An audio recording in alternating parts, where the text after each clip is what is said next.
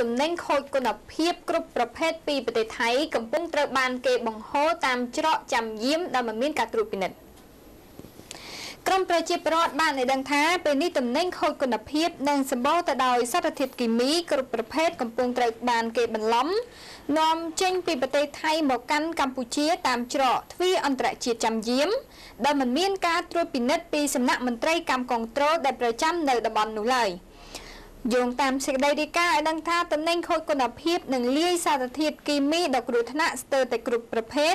ក្នុងនោះមានដូចជាជង្គង់មាន់ស្លាបមាន់ទឹកក្រូចរួមទាំងផ្លែឈើផងដែរត្រូវបានគេអូសតាមរទេះមកក្នុងប្រទេសកម្ពុជា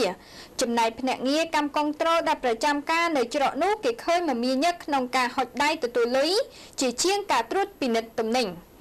តកតងទៅនឹងបញ្ហានេះលោកឡាយសុក សៅគុន្ធា ប្រធានសាខាកម្មកុងត្រូលខេត្តកោះកុងមិនអាចសុំការបំភ្លឺបានទេកាលពីព្រឹកមិញដោយសារតែទូរស័ព្ទចូលច្រើនដងពុំមានអ្នកទទួលដែលវាក៏បានคล้ายជាទម្លាប់មួយរបស់មន្ត្រីខ្មែរមួយចំនួនក្នុងការគេចវេះពីការទទួលខុសត្រូវចំពោះភារកិច្ចរបស់ខ្លួន។